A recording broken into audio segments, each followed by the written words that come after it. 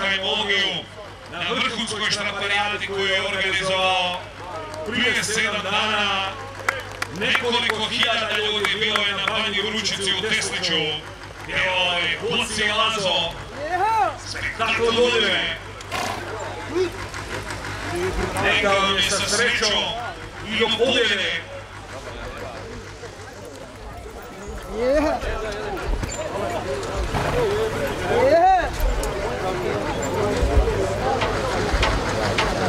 Vidimo raspoloženje ovoga udruženog tabora danas. Ono što nas posebno raduje da je Zoran Anđelić pronašao pravi tabor Tesličane, ljude sa Banje Vručice, prije svega Ognjena Janića i njegovog oca Branka.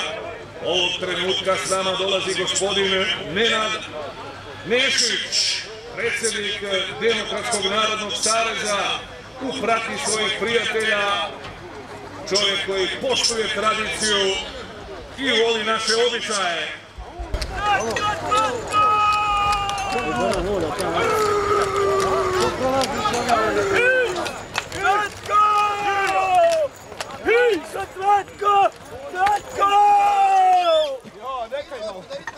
Ja, neka ide. Ja, neka vam stanu, on se uče polako. Zoran Kuči, kaže, polako ne je Hvala se topče.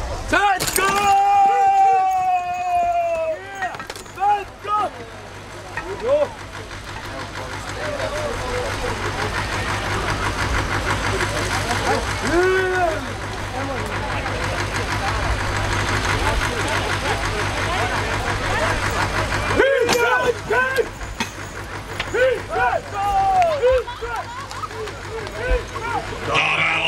dobra, odmara Zoran Anđelić. Kaže, ne trčimo mi, polako, ja i kalim, priprema.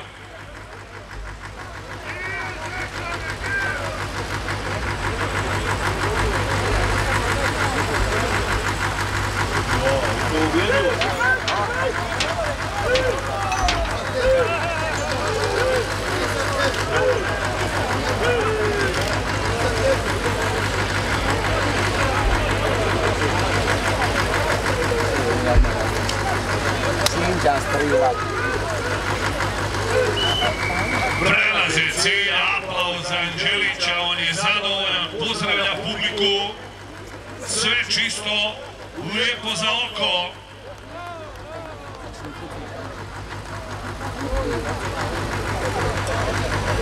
Dan 33, 25. 1, 33, 25.